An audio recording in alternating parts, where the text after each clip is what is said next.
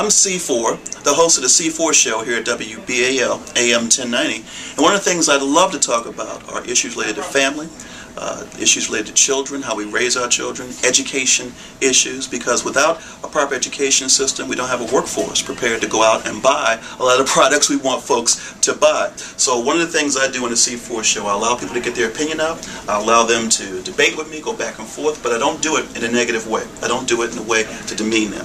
So we have fun on the C4 show. So I want you, if you can, to come join me on the C4 show.